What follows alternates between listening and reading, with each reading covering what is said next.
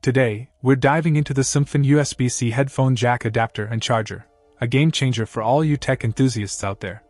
This compact 2 in 1 adapter brings convenience to a whole new level. Firstly, the multifunctionality is impressive.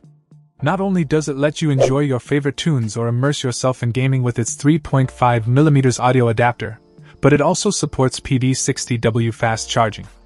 That means you can charge your device at top speed while still indulging in your audio activities. The plug and play design makes it hassle free, no need for drivers. The PD60W fast charging feature is a standout.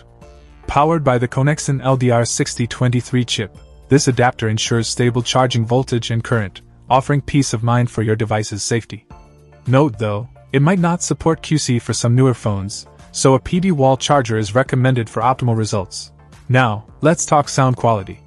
The high quality DAC chipset reduces interference, resulting in a crystal clear audio output of up to 96 kHz, 24 bit. Whether you're into music, calls, or gaming, this adapter delivers a premium audio experience without distortion or signal interruptions. Durability is a key factor here.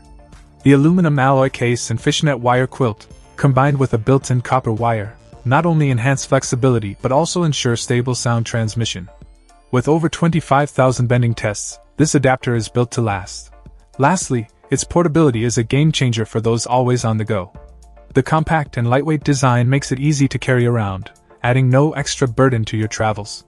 Slip it into your pocket or travel bag, and you're ready to amplify your audio experience wherever you go. In conclusion, the SOOMFON USB C headphone jack adapter and charger redefine convenience, offering a seamless blend of functionality, fast charging, superb sound quality, durability, and portability.